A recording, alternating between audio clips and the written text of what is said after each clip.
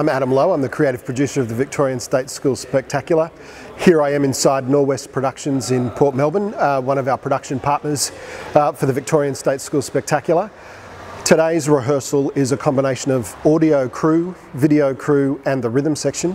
Um, it's the final of three pre-production rehearsals for the technical teams um, and what we're achieving today for the audio guys, obviously they've been here for a few hours before the musicians to make sure all the instruments were set up, all the cables were run, the system was put together.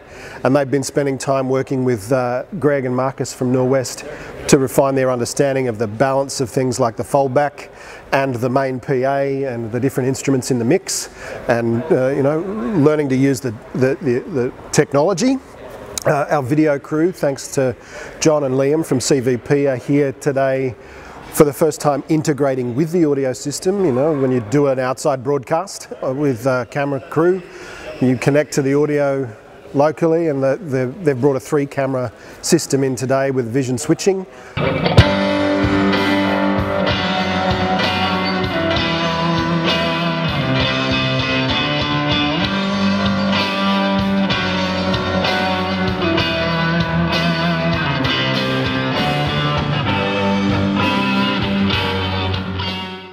They're having to get used to how quickly they have to frame their shots, get the focus right, do the iris work, so that Alex, who's one of the students doing the vision switching, can uh, be musically creative with his selection of shots uh, for a, a, program mix, as they call, as you'd call it, of the videos. My name's Greg Milliken, also known as Spike. I work for Norwest. I'm doing the music mix for the Victorian State School Spectacular. I've been involved with the Spectacular for six years now. Um, it's a gig that's very close to my heart. I love doing the gig. I love working with the kids. I love working with the people from the PAU. Uh, I think it's a really, I think it's a really good thing that's being done by the Victorian government. What we're trying to do is we're trying to teach them basic principles that apply to any show that they work on in the future rather than necessarily just school spec. The actual specifics regarding school spec will actually um, will actually come to light during production week when when it's all in. But the idea is that they learn to work with each other, learn to work with different departments, and learn how to interpret and pass on information.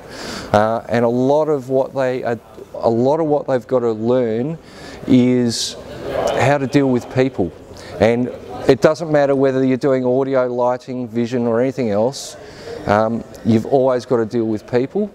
Uh, and I'm happy that the key, I'm, I'm, happy that these students are working for audio, but if they suddenly decide, well, audio is not really for me, I think I'm more into lighting or, or vision, that's fine too. Yeah, hi, I'm John from CVP. Uh, we've been delighted to be involved with State Schools Spectacular for several years and uh, today we've got the third session where we've got students come along to learn and understand how to uh, put the vision gear together. We specialise in the vision components of the show, both live to screen and also distribution of vision around the venue for all the operators to, to do their magic. Um, and the students come and learn how to set up gear, how to uh, troubleshoot and how to operate. And uh, the exposure with the students being able to play with real industry gear at quite a young age and uh, and for us the joy is to see the spark that comes from kids as they as they really use real industry gear learn from industry professionals um, and and are able to just sort of develop on and see whether this might be something that they pursue.